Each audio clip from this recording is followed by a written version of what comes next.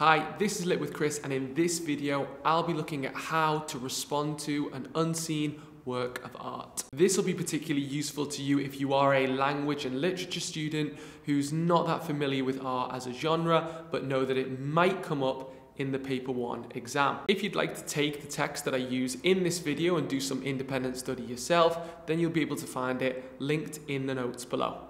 For this particular video, I am looking at the art piece called Girls Up for Grabs by Ewa Juszkiewicz from 2010. Now, the very first thing that you should do with the text in paper one is identify what it wants us to comment on in the question.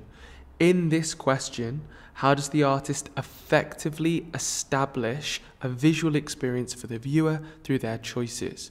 The two things that stand out to me are visual experience and choices. These questions can often be problematic as even if you have experience studying art or have looked at some examples in class, the language used by the IB may not necessarily match that from your lessons, meaning you need to take some time to unpack what these terms mean. Visual experience to me means the emotions I may feel when I'm looking at the painting.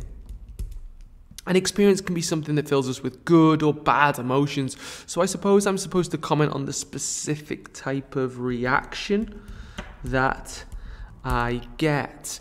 Similarly, I suppose an experience can teach us something, so perhaps the examiner also wants me to comment on a message or idea that the artist is communicating to me. The second term, choices, is quite nice. It's not overly specific, such as focusing on one particular type of technique, which can happen in paper one. And consequently, I'm free to talk about whatever techniques I know from this particular text type. Confident that I know more or less what the question wants, I can now go about analysing the art. Whilst not an art expert, there are a number of devices I know that can be applied to visually heavy text types like this one. The first one would be composition. So, composition refers to the way in which all the elements of the piece are arranged in relation to each other. In other words, is there symmetry and harmony, or is there contrast and clashes? And on first inspection, there does seem to be a certain amount of symmetry in the subjects. They're all sitting in, in, in rows, like one row and then another row, um, one behind the other. But despite this, the longer I look, the more I start to see inconsistencies and clashes. The heights of the girls in the front, are slightly out of line, as are their respective postures. Added to this is the relatively wide divide between this subject and this subject, creating a chasm and therefore affecting the overall balance of the piece. Immediately, in terms of my feelings looking at the piece, I can note down a sense of unease or discomfort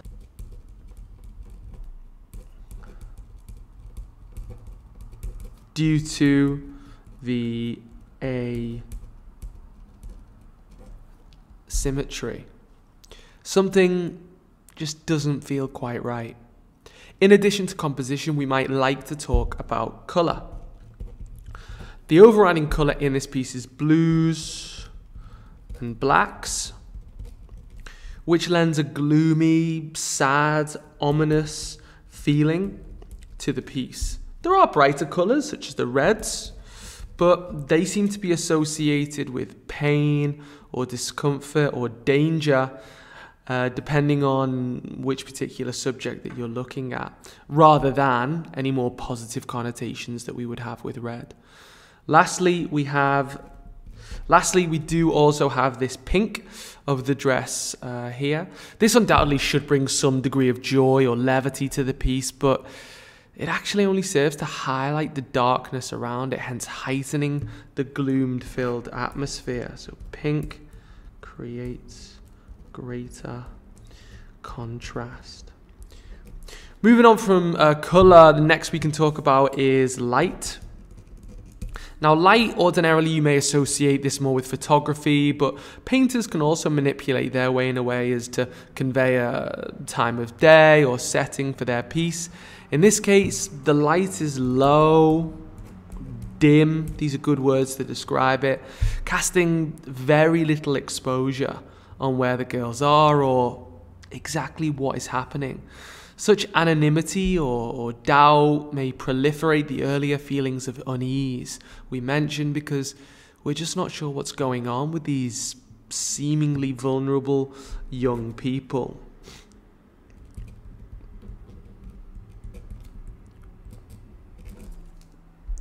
One very popular device that is used with visual texts is visual narrative. This is where a static image has been constructed in such a way as to convey a vivid or clear story or situation for the viewers.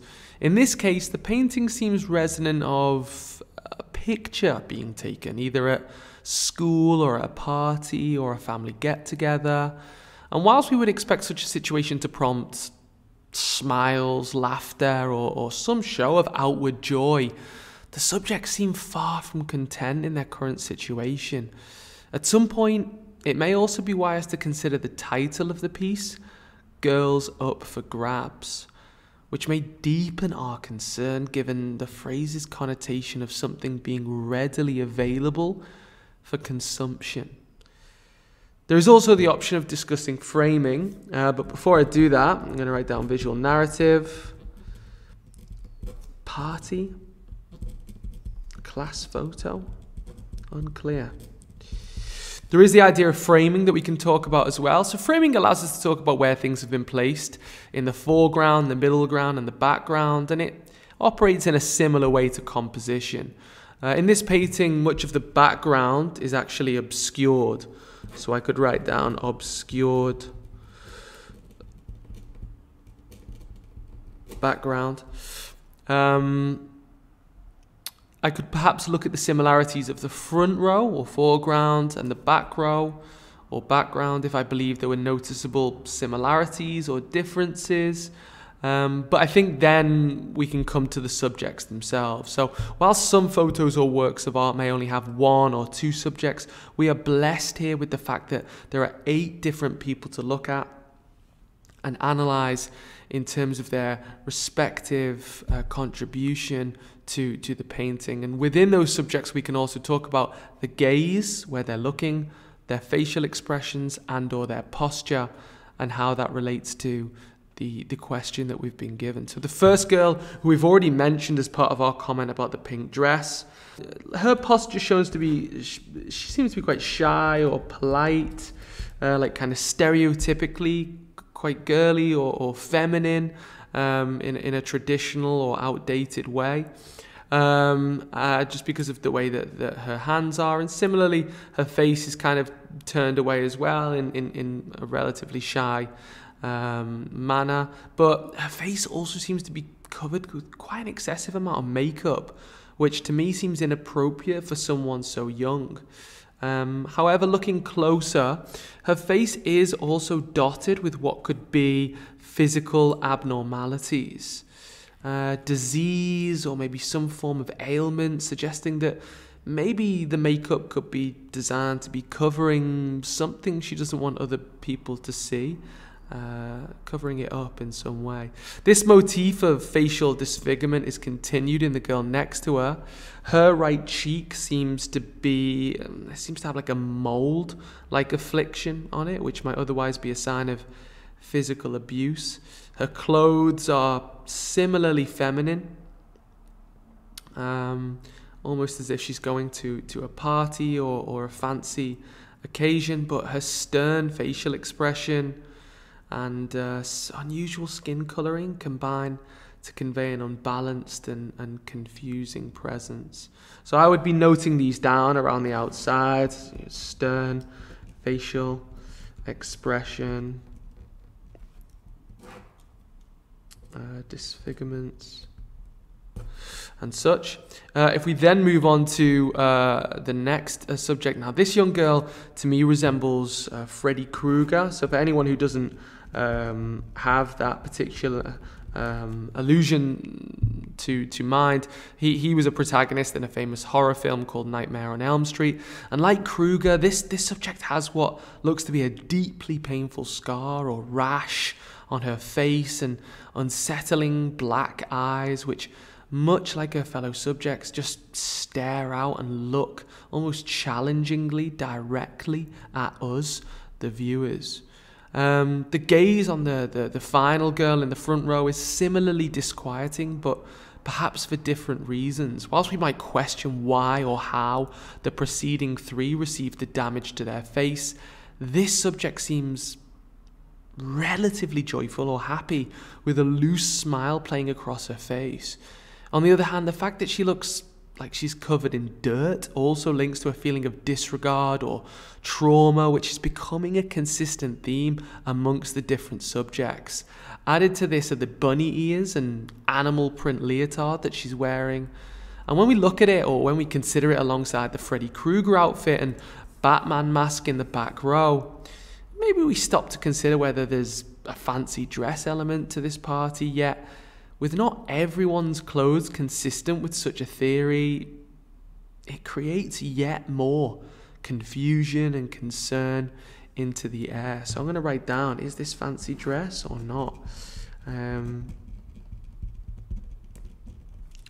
we then uh, move to the, the, the, back row of girls, and they are decidedly more alike, I would say, than the front row. Um, but they're similarly um, obscured, sinister, whatever words you care uh, to use. They're all dressed in blue and they all have faces that seem, you know, relatively dark or relatively hidden due to the light uh, that's available in this particular scene. Um, the girl, this girl particularly, uh, I would say, creates a feeling of foreboding, giving her lowered face and slight grin towards the viewer, whilst the subject in the middle seems to have been painted with a slightly brighter light on her face, but this only serves to highlight her misshapen teeth and beady eyes that continue our theme of facial distortion. And if we are to assume that these are girls, given the title, then we may argue that this subject is the most androgynous of the group. Her hair, her hair is barely visible, facial expressions are masked in the dark, and producing a further unsettling sense and leaving us wondering how is this person feeling and what exactly are they doing here? Lastly, it would be remiss not to talk about this figure resembling Batman, uh, given the asymmetry of their position, and just how out of place they seem in contrast to everyone else. Um, they're presented as an outsider or apart in some way purely because of what they're wearing and where they're standing. And to me, it's not beyond the bounds of possibility that this could, in fact, be a male character, given the predatory connotations of both the mask, its colour, and the bat as an animal. Such a consideration gives further weight to the title, Girls Up for Grabs, and we may be led to wonder what role this person has to play in the girl's apparent availability. So through the annotations that you can now see, I can now return to my initial notes on the question and try to develop the beginnings of a thesis. Now, in terms of emotions or reactions, I have to say that the painting leaves me feeling a sense of unease, a sense of dread, concern, and perhaps confusion. I just don't know what's going on with these particular characters and it, it makes me feel anxious. Um, the message or the idea to me is, is slightly more tricky. I'm not entirely sure, but if I had to offer something, um, I suppose there could be something said about the beauty standards expected of women in society. We do have indications or symbolism of, of, of beauty in a few places and it being subverted.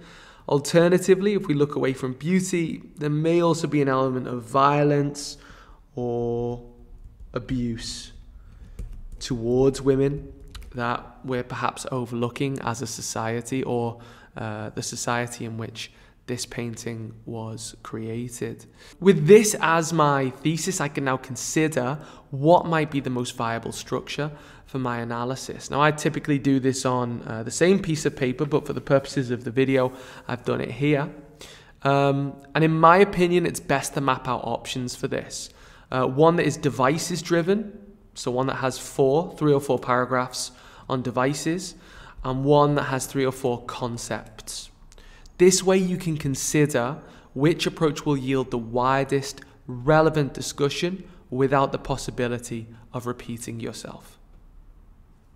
From there, I'd go on to write six paragraphs one for the introduction, one for the conclusion, and four body paragraphs to defend and develop my thesis. Don't forget, if you do want some independent practice or access to the text I used in this video, you'll find it linked in the notes below. If you found this video useful or the text that I used in it, then please consider liking and subscribing via the buttons below. That's all for this time. Thank you for watching and see you soon. Goodbye.